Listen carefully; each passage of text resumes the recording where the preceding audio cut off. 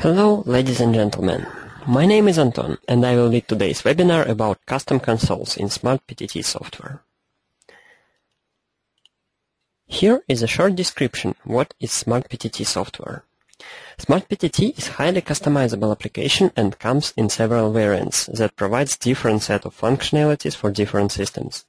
Interface with radio system can be done via control stations or via IP connection to MOTOTRBO repeaters. Dispatcher software gives opportunity to control and log the flow of data and voice in radio network, request location of subscribers and monitor the state of repeaters. Also, SmartPTT gives a set of software tools, such as web client and file transfer software, which increase radio network usability and functionality. SmartPTT has functionality that allows it to connect to PBX and give subscribers the ability to use PBX interconnection from radio network as well. Agenda of today's webinar are listed on this slide. I will describe custom consoles, their purpose and benefits of using them. Then I will tell about available element base. And finally, I will describe how to create a custom console in compliance with your requirements and what features SmartPTT can provide for that. Well, what is custom console? Custom Console is a specific type of highly customizable user interface which brings some shortcuts for frequently used options and calls within easy reach of dispatcher. These consoles allow creation and visual, or visual organization of any set of radio network elements from subscribers to whole radio topologies. Dispatcher will be able to quickly and easily reach for any element placed on custom console instead of searching through lists of online subscribers using tons of different drop-down menus or remembering a whole lot of shortcut keys. All the elements are customizable in size and color and could be easily grouped. A set of available elements includes, but is not limited to, private calls, group calls, text messages, telemetry control buttons, channel selectors, and other convenient elements. It is possible to use as many custom consoles simultaneously as needed. Additional custom consoles can be used by different operators in different time. For example, specific consoles for night shift and day shift. Different consoles for different radio subnetworks. Consoles can be arranged in tabs, allowing dispatcher to save workspace by shifting between different consoles for different functionality. Any console can be dragged out of interface to a separate window to be placed on a second screen, projector, or LCD wall panel. Main purpose of custom consoles is to give the dispatcher flexible and powerful interface which can be customized to comply his requirements whenever he needs. Custom consoles were specially designed to be easily used with touchscreens. Big, colorful buttons provide as much information as possible without obstructing the interface.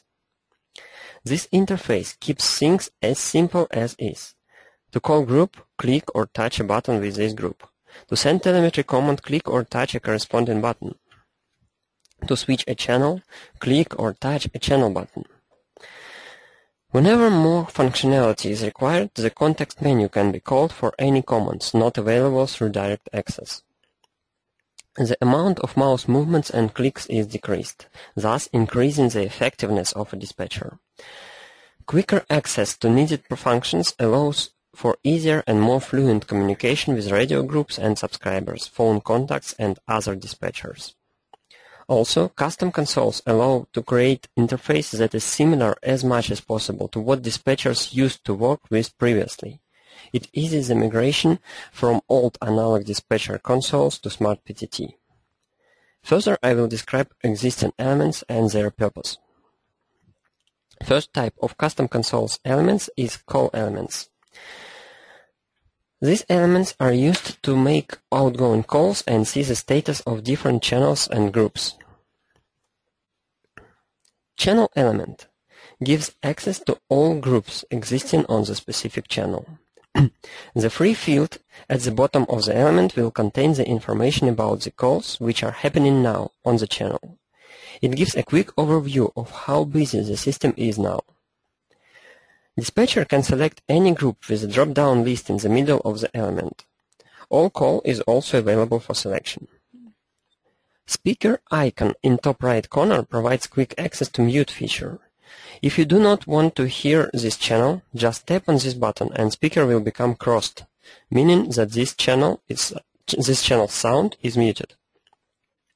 The context menu button in bottom right corner provides access to the familiar context menu, containing shortcuts to most of radio network options. These options are radio check, block and unblock radio, find on map, properties window, and so on.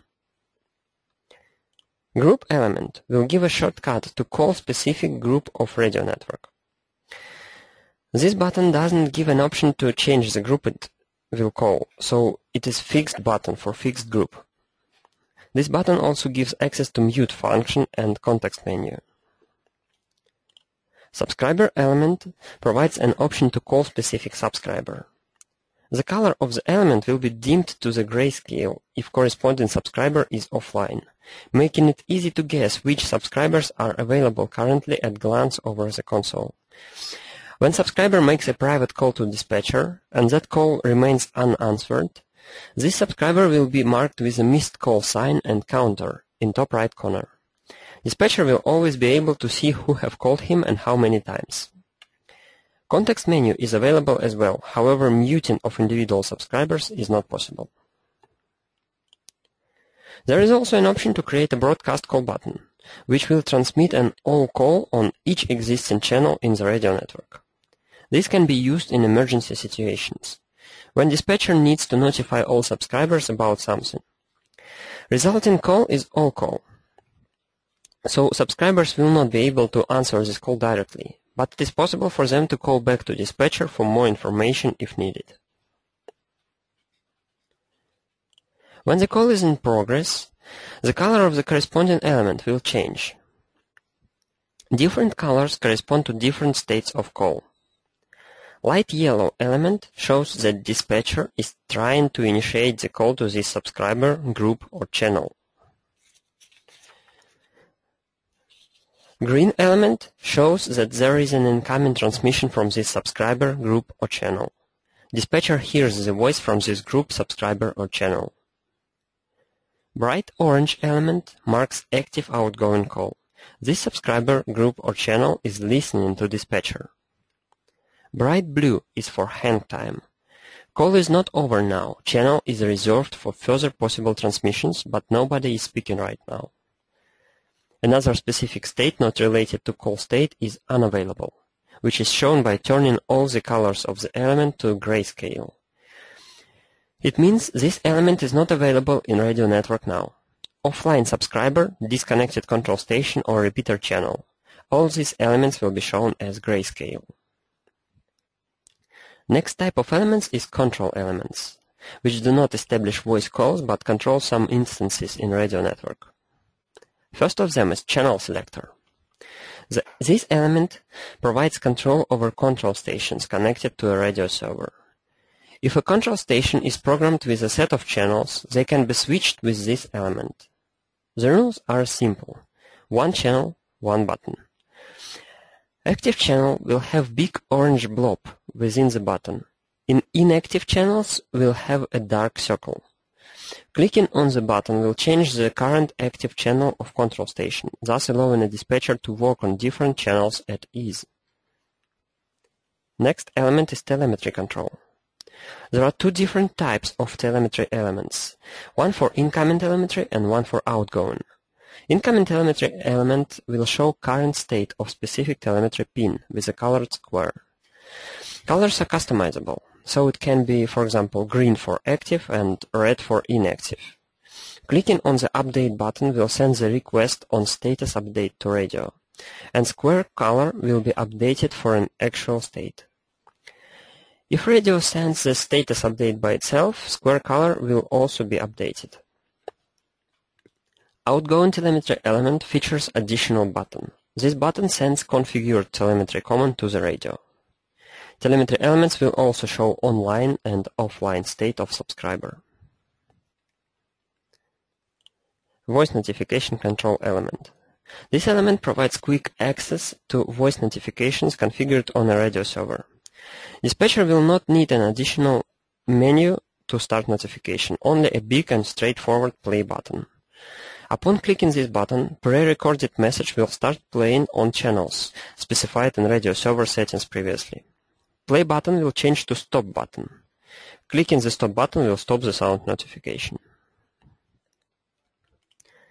Text messaging prompt. This element will become active if any other element which can receive TMS is selected. TMS prompt will show the name of subscriber or group to which TMS will be sent. Dispatcher can enter text of a message directly to the prompt or select from a list of predefined messages in a drop-down menu on the left. Next type of elements are contact elements. Contact elements will open the contact window for a corresponding dispatcher or a phone subscriber on a double click. A contact window contains latest history for those contacts, including text messages for dispatcher contacts. Connect and disconnect button are used to make calls. It is possible to initialize a conference call directly from contact window. There are also some elements which provide some other functionality. One of these elements is shown is incoming events panel which registers all calls and messages coming to the dispatcher and shows them in a list. All new events will be listed in a light red color. When dispatcher clicks this event, it will become white, showing that dispatcher confirmed he knows about this event happened. Second type of such elements are panels. These panels can contain any number of different other elements and will keep them all stick to panel. This allows to group elements. When you are editing the console, if you move the panel, all elements on the panel will move with it. You can also put the PTT button on the panel to make simultaneous calls to all elements on the panel. It can help to call some specific set of subscribers not connected by a talk group, or some specific set of talk groups and channels. Custom consoles are created with a specially designed editor. To create a console, you will need to simply drag needed elements from the tree to the left and place them in an order you like. So, to have access to channels, drag and drop channel elements. It will provide you with access to all groups of the channels and ability to make an all call to these channels. Here we have two channel elements which are maintenance and mining in the top left corner. Next step is to drag all the needed groups. You can select different colors for them to differentiate the same elements at glance. Here we have four group buttons, from group 1 to group 4. It's the second row of the console. Next step can be adding more specific subscribers for different channels. For this you can create different colored panels and drag subscribers to them. Another option can be to create a set of emergency contacts for dispatcher for cases of fire alarm, security breach and so on, grouping them on a special panel. Here we have panels for engineers, security team, transportation team, and the emergency panel in the top right corner, which can connect us with security post, fire depot, and so on. In latest release, SmartPTT got some enhancements for the custom consoles editor. Elements are now aligned with a grid, which makes it easier to arrange them in a structured way, so console will have a professional look. Overview of bigger consoles on the minimap and ability to zoom in and out while creating a console for a better design, when console will not fit an editor window for some reason. Also, multiple elements can be selected and modified as a group, allowing for more fluent and easy editing, edition of console. You can visit our website smartptt.com to find out more information about SmartPTT software. Follow us on Facebook and subscribe to our YouTube channel, user SmartPTT.